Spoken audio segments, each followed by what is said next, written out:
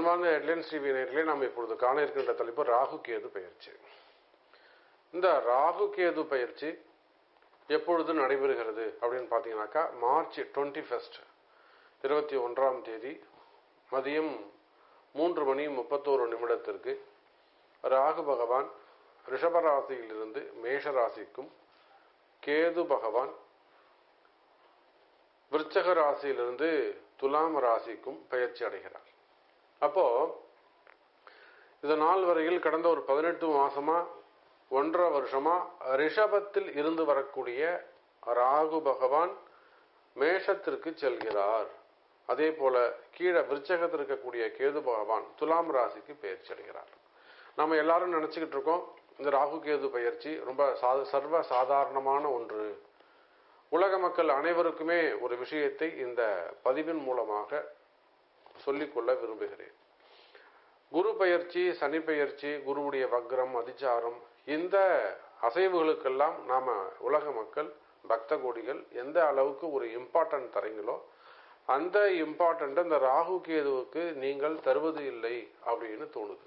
ஒரு அலட்சியமா ராகு கேது தானே அப்படிங்கிற ஒரு அலட்சியமா இருக்கிறதாக நினைக்கிறேன்.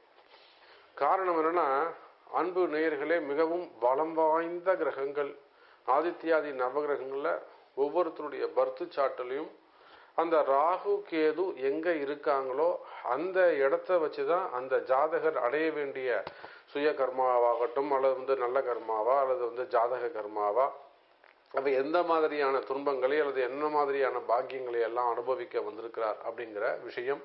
முன் ஜென்மால் அவர் என்ன தப்பு பண்ணார் எந்த மாதிரியான மிஸ்டேக் பண்ணியிருக்கார் அப்படிங்கிறதெல்லாம் ஒரு ஜாதகத்துல ராகு கேது அமர்ந்திருக்கக்கூடிய பாவங்களை அடிப்படையாக வச்சு தான் சொல்லப்படுகிறது. ராகுவை போல கொடுப்பாரும் இல்லை கேதுவை போல கெடுப்பாரும் இல்லை. அப்படின்னு தான் ஜோதிட நூல்களும் நமக்கு எடுத்துரைக்கின்றது. அப்போ ரொம்ப ஸ்ட்ராங்கான நவகிரகங்கள்ல ரொம்ப பவர்ஃபுல் பிளானட் எது அப்படின்னு கேட்டீங்கன்னாக்கா ராகு கேதுக்கள். ராகு இருக்காரே பிரம்மாண்டமான ஒரு ஆப்பர்ச்சுனிட்டி பிரம்மாண்டமான ஒரு வாய்ப்பை ஏற்படுத்தி கொடுப்பார். ஒரு ஜாதகனை அது ஆணோ பெண்ணோ. ஒரு ஜாதகரை இமை பொழுது பை செகண்ட்ல ஒரு உயர் நிலைக்கு ஹையர் பொசிஷன்ல கொண்டு போய் உட்கார வைக்கிறதும் ராகு தான். அதே ஜாதகரை அரை செகண்ட்ல தலைகீழ அதல பாதாளத்துக்கு கொண்டு வந்து சேர்க்கிறதும் அந்த ராகு தான். அப்போ ராகு நினைச்சாருன்னா உயர் பதவி அரசாங்கம் அரசாங்கத்துக்கு மேல அரசு அதிகாரிகள் அவங்களுக்கு மேல சீஃப் மினிஸ்டர் பிரைம் மினிஸ்டர் அதுக்கு மேலே பிரசிடென்ட் என்னெல்லாம் ஒரு ஹையர் ரேங்க் உண்டோ அந்த எல்லா ஹையர் ரேங்க் சைரன் வைக்கிறாங்க இல்லையா மேலே சுத்துது பார்த்தீங்களா? ஹையர் சைரன் வச்ச அப்போ அந்த மாதிரியான உயர் பொறுப்புகள் அந்த சைரன் வந்து ரெட் கலர் இல்லையா? அந்த சவுண்டு அது ராகு.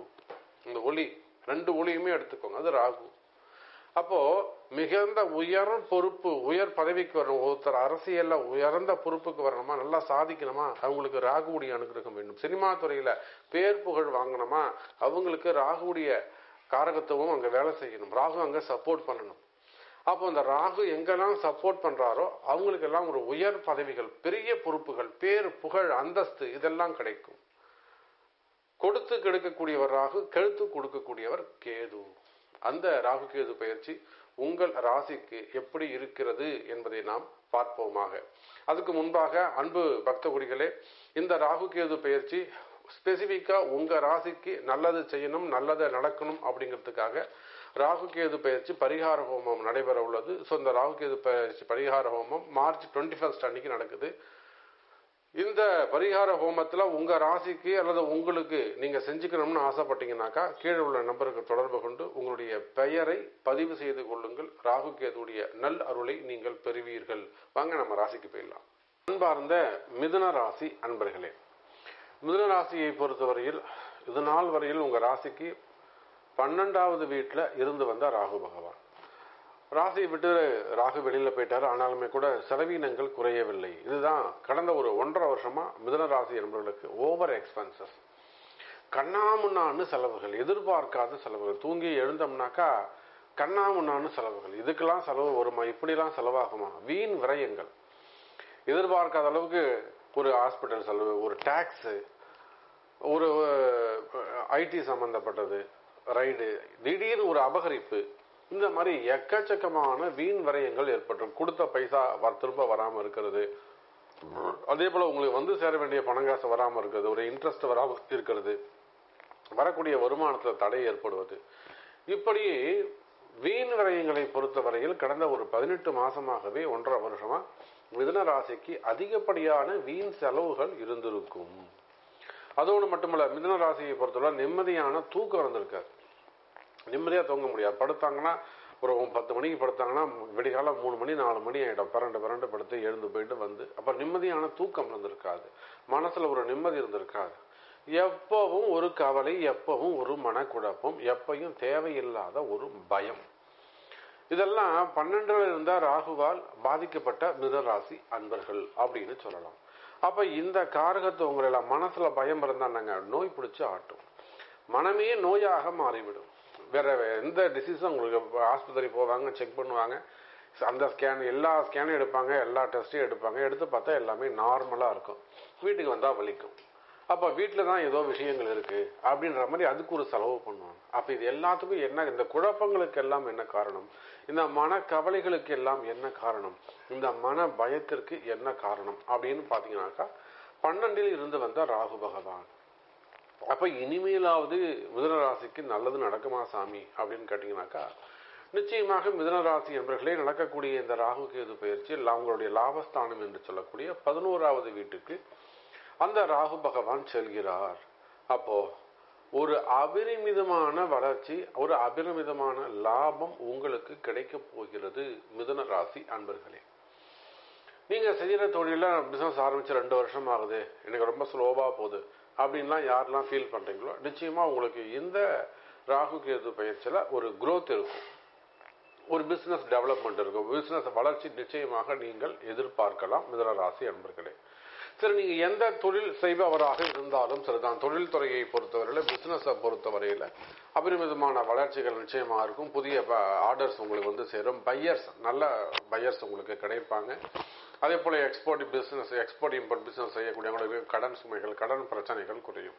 பொதுவாகவே மிதனராசி என்பவர்களுக்கு கடன் சுமைகள் அதிகமானதாகவே உள்ளது. ஒரு இருபது கோடி ஐம்பது கோடி அந்த மாதிரிலாம். ஸோ அந்த மாதிரி பிஸ்னஸ் சம்பந்தப்பட்ட கடன் சுமைகள் இருக்குமே ஆனால் அந்த கடன் சுமைகள் லோன் பிரச்சனைகள்லாம் குறையறதுக்கான வாய்ப்புகள் உண்டு. அதுக்கு அடுத்தபடியாக ஜாப் ஜாப் ஆப்பர்ச்சுனிட்டி நிச்சயமாக கை கொடுக்கக்கூடியதாக இருக்கும். பதவி உயர்வுகள் கிடைக்கும். நிறைய அரசு அதிகாரிகள்ல பொதுவாக அது பிரைவேட் ஜாபோ அல்லது கவர்மெண்ட் ஜாபோ எதுவாக இருந்தாலும் டிரான்ஸ்ஃபருக்கான சான்சஸ் அதிகமாக உண்டு. ஒரு ஹையர் பொசிஷன் நல்ல ரேங்க்ல ஒரு ஹையர் ரேங்க்ல போய் நீங்கள் ஜாயின் பண்ணுறதுக்கான சான்சஸ் உண்டு. ஸோ பதவி உயர்வு கிடைப்பதற்கான வாய்ப்புகள் அதிகம் அதிகம் உண்டு மிதுன ராசி அன்பர்களே. அதே போல வேலை செய்கிற இடத்துல ரொம்ப எச்சரிக்கையாகவும் கவனமாகவும் நடந்து கொள்ள வேண்டும். பொதுவாக அரசியல் அரசியல்வாதிகளிடத்தில் அதிக கவனம் செலுத்த வேண்டும் மிதுன ராசி அன்பர்களே. அதுக்கு அடுத்தபடியாக பார்த்தீங்கன்னாக்கா குடும்பம் குடும்பம் கணவன் மனைவி அந்த கணவன் மனைவி ஒற்றுமை இவையெல்லாம் மேலோங்கும். பிரிந்த கணவன் மனைவிகள் ரொம்ப அந்யோன்யமா இருந்த தம்பதி ரொம்ப நெருக்கமாக இருந்த தம்பதிகள் கூட பிரிவினைகள் ஏற்பட்டிருக்க வாய்ப்புகள் உண்டு. அந்த மாதிரி பிரிந்த தம்பதிகள் மீண்டும் ஒன்று சேருவதற்கு வாய்ப்புகள் உண்டு. ஸோ மிதுன ராசியை பொறுத்தவரையில வம்பு வழக்குகள் கோர்ட்டு கேஸு சம்பந்தப்பட்ட பிரச்சனைகள் இருக்குமே ஆனால் அவையெல்லாம் உங்களுக்கு சாதகமான முடிவுகளை வருவதற்கு உங்களுக்கு சப்போர்ட்டாக ஃபேவரபிளான முடிவுகள் ரிசல்ட் வருவதற்கான சான்சஸ் உண்டு. அதுக்கு அடுத்தபடியாக பார்த்தீங்கன்னாக்கா திருமண யோகம் குழந்தை பாக்கியம் இந்த ராகுவால எதெல்லாம் தடைப்பட்டதோ தடைப்பட்ட எல்லா விஷயங்களும் முப்பது வயசு ஆகுது முப்பத்தஞ்சு வயசு ஆகுது கல்யாணம் ஆகலை செகண்ட் மேரேஜ் லேட் மேரேஜ் இதெல்லாம் இந்த மாதிரி விஷயங்கள்லாம் கூட கை கூடுவதற்கான வாய்ப்புகள் உண்டு. ஸோ மிதனராசியை பொறுத்தவரை இந்த ராகு கேது பயிற்சி ரொம்ப ரொம்ப முக்கியமான பயிற்சி. எந்த ராகு கேது உங்களுக்கு நன்மையை செய்யட்டும் என்பதை சொல்லிக்கொண்டு அன்பு பக்த கொடிகளே இவ்வளோ நேரம் இவ்வளோ நேரம் நம்ம அந்த ராகு கேது பயிற்சி பரிகாரங்களை பற்றி பயிற்சிகளை பற்றி நம்ம தெரிஞ்சுக்கிட்டோம். ஸோ நான் பதிவின் மத்தியில் சொன்னதை போல் இந்த ராகு கேது பயிற்சி பரிகார ஹோமம் நடைபெறுகிறது. இந்த ராகு கேது பயிற்சி நீங்கள் நினச்சதை சாதிக்கணும்னு நினச்சிங்கனாக்கா ஜெயிக்கணும்னு நினச்சிங்கனாக்கா வெற்றி பெற வேண்டும் என்று நினச்சிங்கனாக்கா உங்கள் துன்பம் நீங்க வேண்டும் என்று நினைத்தீர்களே என்று சொன்னால் ஆரோக்கியம் குடும்பம் மகிழ்ச்சி கவலை பயம் செய்வினை கோளாறுகள் ஆயுள் ஆரோக்கியம் இதில் எல்லாம் நீங்கள் வெற்றி பெற வேண்டும் என்று நினைத்தால் இந்த ராகுகேது பயிற்சி பரிகார ஹோமத்தில் கலந்து கொள்ளுங்கள் பங்கு பெறுங்கள். அப்படி கலந்து கொள்வதாக இருந்தால் கீழே தெரியக்கூடிய அந்த நம்பருக்கு தொடர்பு கொண்டு உங்களுடைய பெயரை பதிவு செய்து கொள்ளுங்கள். அதற்கான கட்டணத்தை செலுத்தி என்பதை தெரிவித்துக் கொண்டு மீண்டும் வேறு ஒரு அற்புதமான பதிவில் உங்களை சந்திக்கிறேன். அதுவரை உங்களிடமிருந்து விடைபெறுவது உங்கள் தாம்பரம் ஸ்ரீ வாராகி சனேசன். குருஜி நமச்சிவாயம். ஜெய் வாராகி. ஜெய் ஜெய் வாராகி.